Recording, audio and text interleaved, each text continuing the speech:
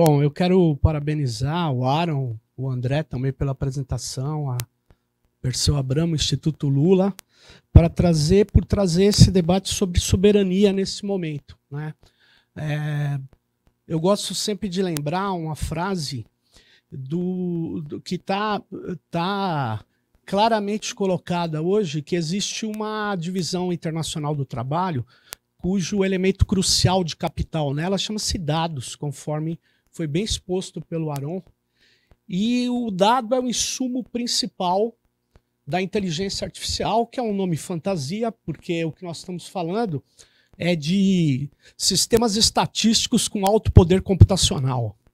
Né? A inteligência artificial realmente existente é, são sistemas algorítmicos de aprendizado de máquina, aprendizado profundo, que também são marcas fantasia, porque máquina não aprende nada. O que nós temos, na verdade, é um processo de tratamento de dados, né, de muitos dados, né, de bases de dados gigantescas para se extrair padrões.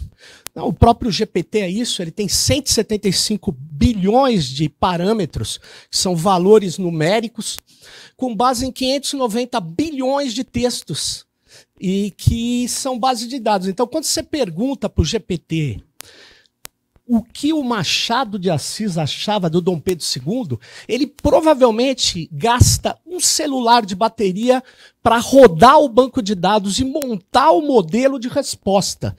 Então, curiosamente, a inteligência artificial pensam os pesquisadores da área, elas estão projetando um gasto de energia em 2030 que é já o treinamento de modelos de linguagem natural, chamados inteligência generativa, né, a partir do Transformer, que é o T do GPT, ele vai estar tá consumindo 10% da energia do planeta. Por quê? Porque não se para de coletar dados. É uma projeção. Você fala, isso é exagero. Pode ser um exagero, mas o consumo já da base dos data centers, esse armazenamento de dados, já é 2% do gasto de energia mundial. Né? E aí eu queria só reforçar, a ideia da soberania é tão importante. Mas se vocês entrarem hoje, convido a todas, no sougov.br e entrar no termo de busca, eu sou pesquisador, eu tenho que ler termo de busca, né? Não é obrigatório ler, mas seria bom. E você chegar, dá uma busca, porque ele é muito longo. Dá uma busca no termo IBM.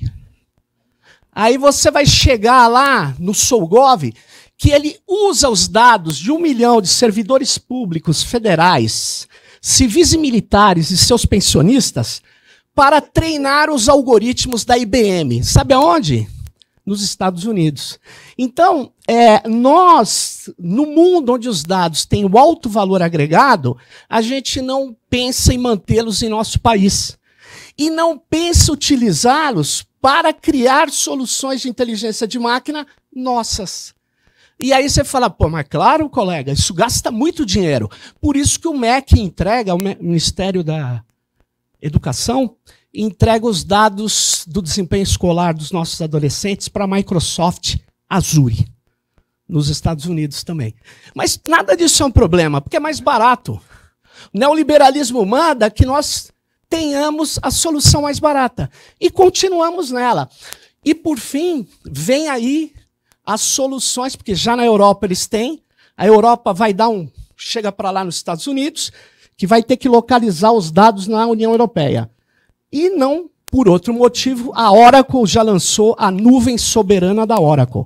E a Microsoft já lançou a nuvem soberana da Microsoft. E a Amazon não poderia deixar de ter por menos e lançou a nuvem soberana da Amazon, amazônica.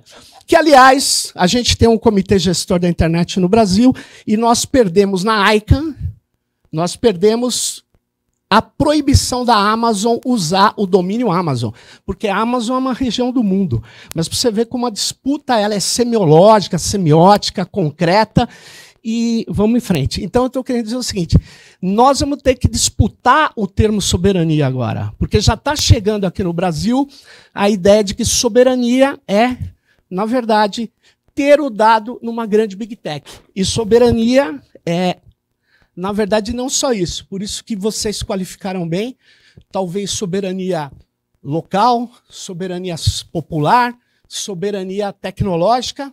Eu acho que esse debate que vocês estão trazendo, ele é fundamental, então eu parabenizo muito por vocês estarem lançando isso nesse momento aqui. Valeu.